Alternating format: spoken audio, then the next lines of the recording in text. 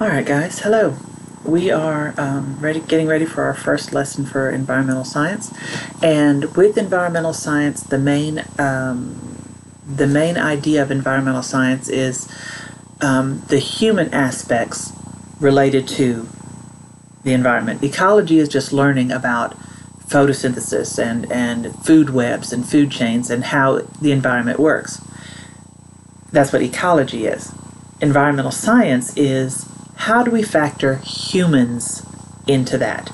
All right, so with our class, what we're going to be doing is learning a lot of the human based problems in the environment, like uh, nat- uh, resources, oil, um, the en- environment with global warming, um, and then having how humans and animals can live together and, and share the planet. And that's where we're going to start today. We're going to start with the human wildlife conflict. And we're going to start with um, actually elephants. All right, so we know that the elephants are endangered and the elephants have to eat, but so do the farmers. All right, so you can't just say, let the elephants have all of Africa when the Africans who live in Africa, they say, well, hey, we need to eat also. So part of environmental science is going to be balancing that kind of stuff out. So you see, I've started this on our webpage. Um, let's go to environmental science and then to down, you have to scroll all the way down here to chapter one. Within chapter one, uh, we have here is a whole bunch of um, good videos that we're going to need. Actually, one of them is going to be this human wildlife conflict is going to be part of our um, lesson for this chapter. There may be some others, but definitely that one you're going to need to scroll back up to here. But here is the parts about the elephant we're going to need. All right, so when you open this, this one here is our PowerPoint. I have that open on a different screen. I'll do that for you in just a second. So this is our PowerPoint. No, it's not. Sorry. This one is the PowerPoint. All right, and um, this is the link. This is from World Wildlife Federation. So this is the link to the website of World Wildlife. So we'll go use that also in just a second. I'm going to open all of these up, but it's going to get crazy. Um, so this is the PowerPoint we'll be using.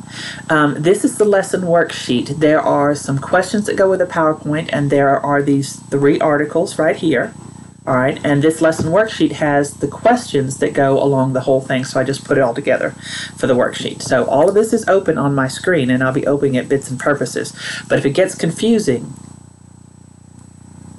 if it gets confusing, um, trying to figure out where I found all these bits, they're all right here, okay? So don't let yourself get freaked out. I'm going to start with our PowerPoint, and that should be here.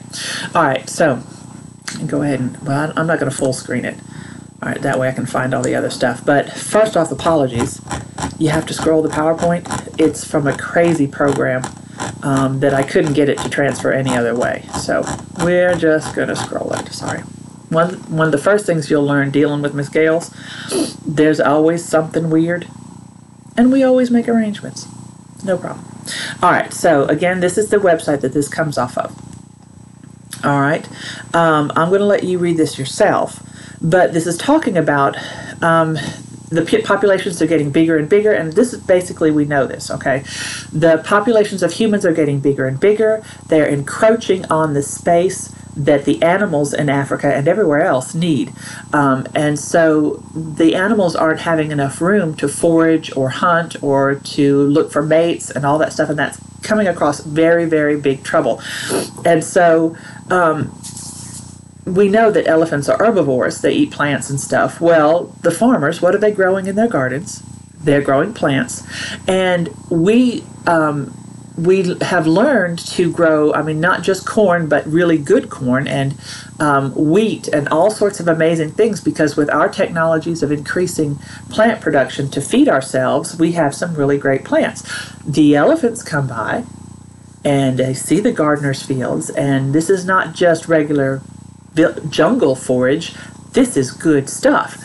And um, so they come and they eat this vegetables that the gardeners are growing, and it's good vegetables. And you know that we know that elephants have a great memory. That's one of the coolest things about elephants. Elephants live a long time. All right, so they pass the information they have on down to their children. And that's one of the most amazing thing about elephants. Elephants have a culture.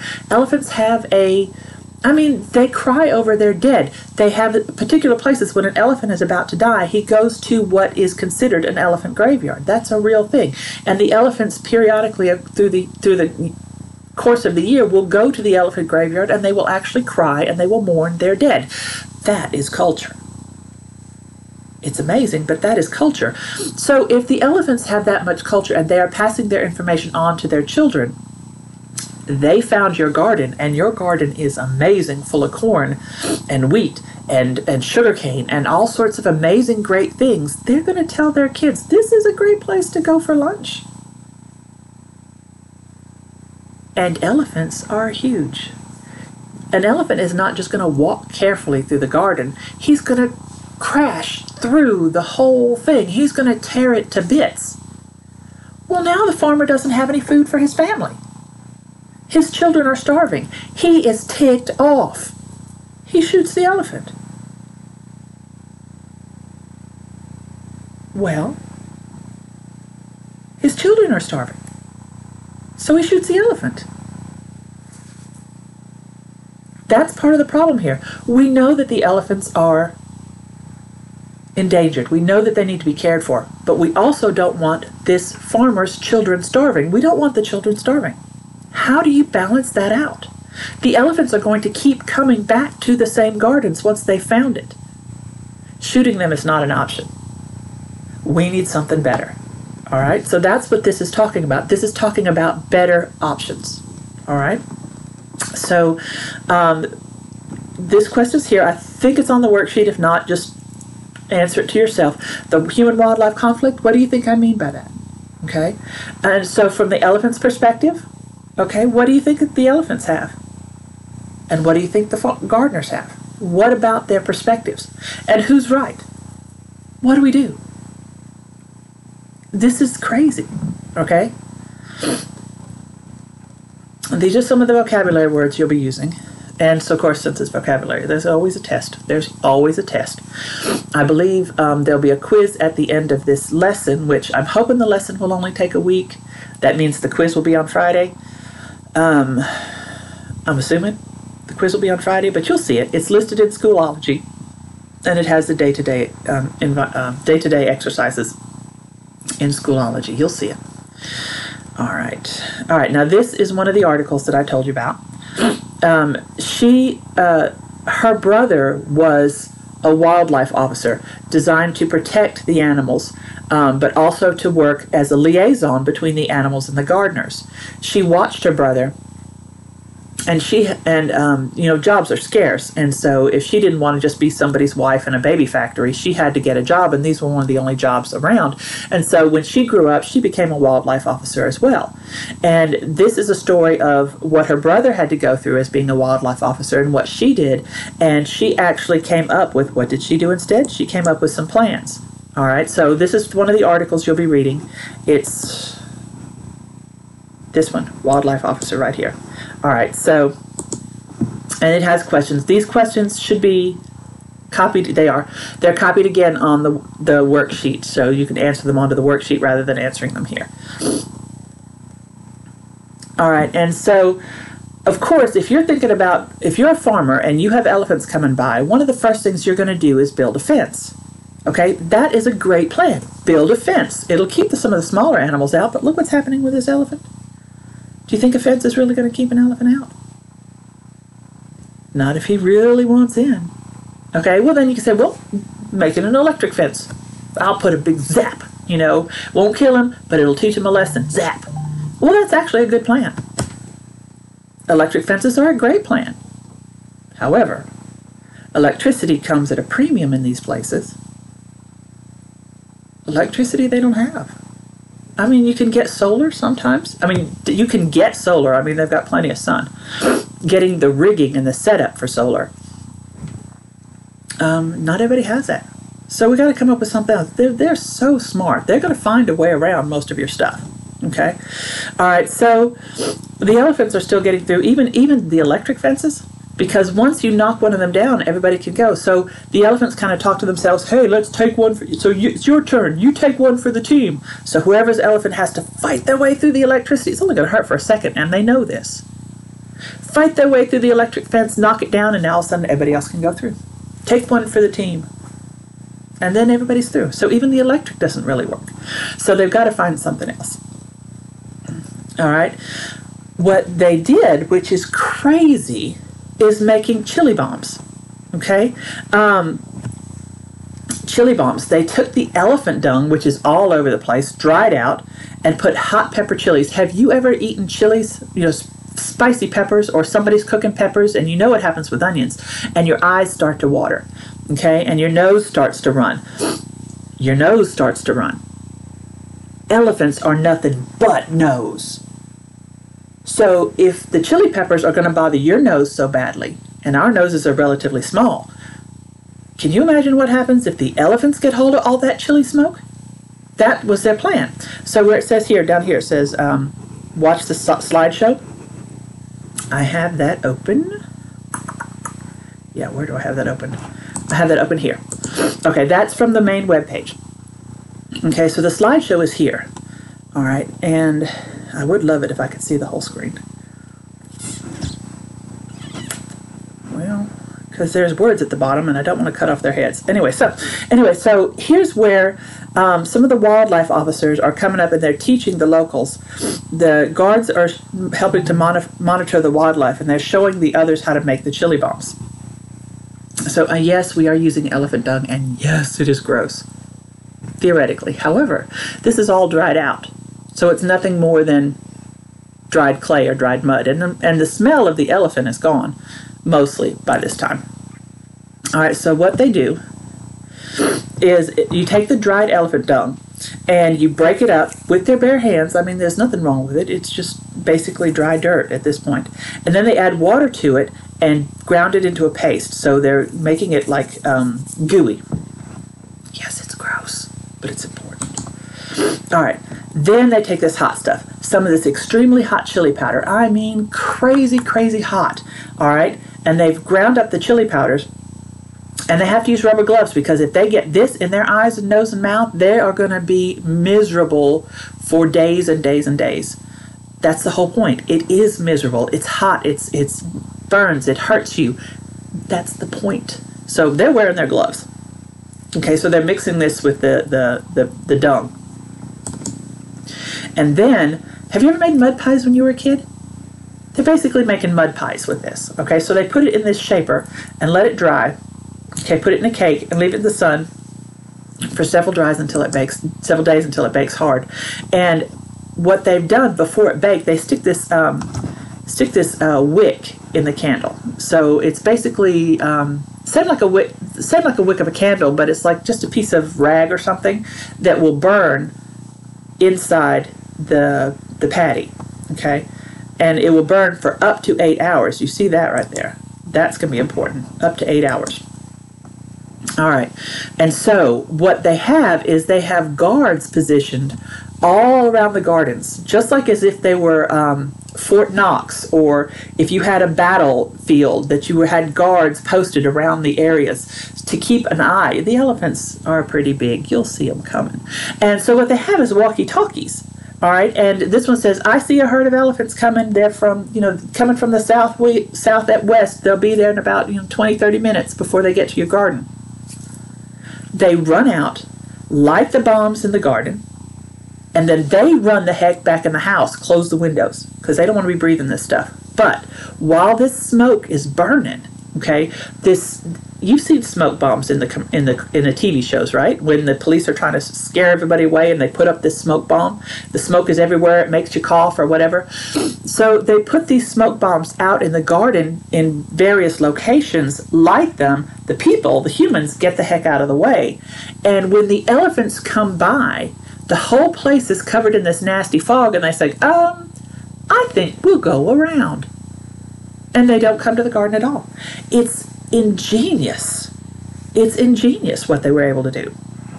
Very, very, very, very incredibly what incredible, um, and incredibly successful. Okay, so they make the chili bombs and then they ignite them, and this horrible pungent means stinky, the stinky and strong. So the sticky smell, and then they lit the chili bombs around the farmland whenever they heard the elephants. When whenever they get on the walkie-talkie, and the guards would tell them the elephants are coming. All right, and see what's next. Okay, and there's a here's a second article. It's also on the website here. On, let me get back to the website. Yeah, there one. Using the chili bombs. Okay. Uh, I've got too many things open.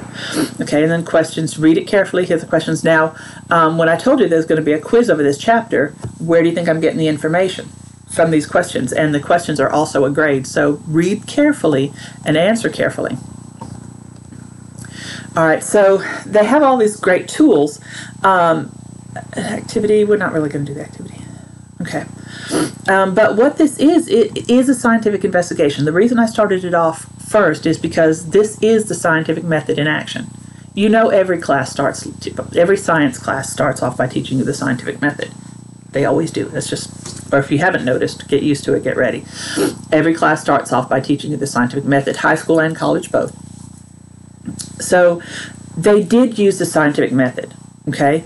With any scientific investigation, the first step as with any scientific investigation, the first step is to identify the problem and ask a question. The problem is the elephants are eating our food. The question is, do we think this might help? Okay, ask a question. How can we make this stop? The hypothesis is we think the chili bombs will scare the elephants away. That's the hypothesis. The hypothesis has to be something that can be tested, um, and it it can. Yeah, you got this. Okay, so then you di- just describe the experiment to test the hypothesis. So they, they designed the chili peppers. Do you think they um, got it right the first time when they were making these chili peppers? They probably didn't get it right the first time. Okay? That's another part of the scientific method is multiple trials. Okay? So you develop your hypothesis and then you experiment to test it. Okay?